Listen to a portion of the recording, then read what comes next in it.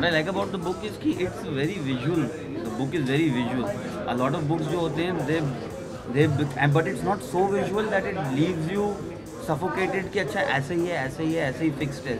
सारे सीन सारे सिनारी जितने पैसेजेस रिटन है।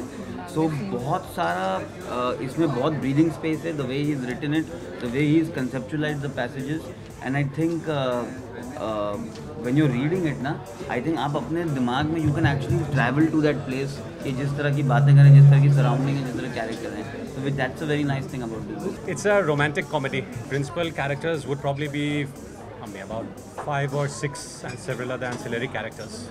The best part about the book is how it has this romantic notion of how one guy is willing to do anything to look for the love of his life. And based on almost no data, he goes back and looks for her. And I found that journey very exciting. I really like the first first chapter where he gets dumped and shat upon.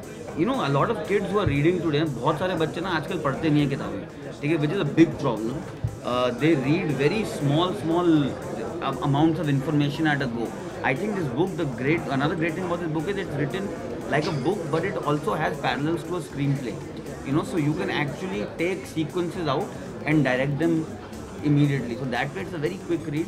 So I guess if we, you know, if in the future if we work together, of course. But this book is very funny.